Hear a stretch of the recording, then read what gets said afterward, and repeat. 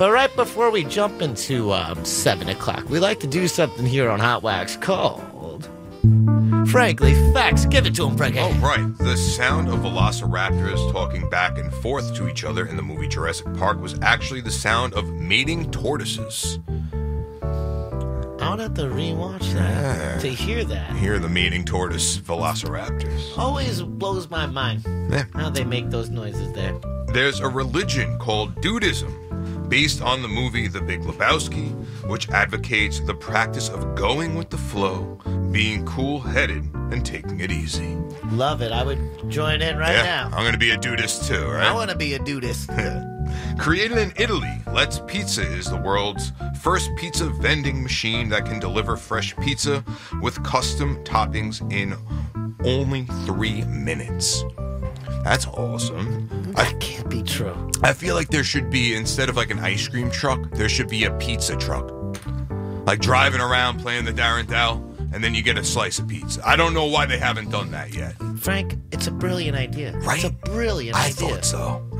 In uh, 1986, a French woman named Nadine Vaujour was so determined to get her husband out of jail that she learned how to fly a helicopter and flew over the prison where he was to pick him up and uh, off the roof, and um, she did. But uh, she was arrested shortly after. Ride or die.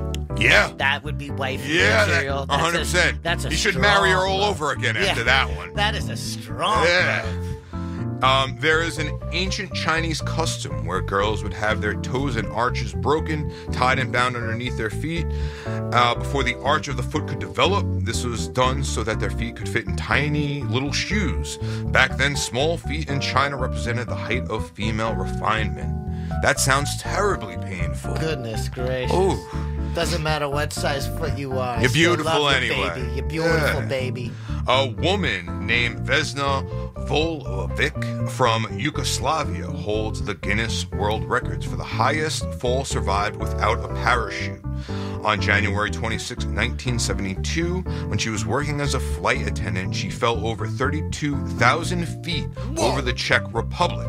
Unbelievably, the plane that she was working aboard blew up and she fell inside a section of the tail unit. After being hospitalized for 16 months, she emerged from a 27 day coma. She had multiple broken bones, but sur- survived. My God, 30,000 feet, my dude. Wow. That is incredible. Oh, my goodness gracious.